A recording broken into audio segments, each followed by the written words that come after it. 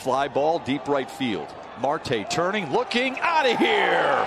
Three run bomb, his first of the year for Eric Haase.